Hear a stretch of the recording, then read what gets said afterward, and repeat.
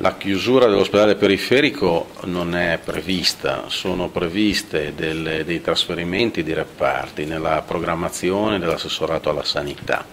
E il dato economico è che ogni sei mesi ci vengono tolti dei soldi per la sanità e quindi noi dobbiamo riuscire a conciliare i tagli eh, con la cura, l'assistenza e eh, i processi di riorganizzazione molto rapidi perché anche attraverso la riorganizzazione si può mantenere un numero di prestazioni adeguato rispetto al quadro epidemiologico.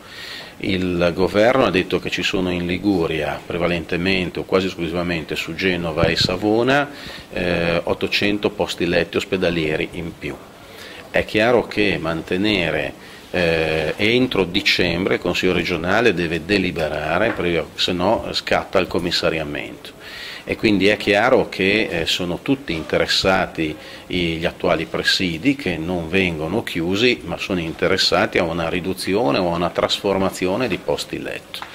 E questo è un compito difficile, eh, prima sul piano della pianificazione e quindi poi sui saldi.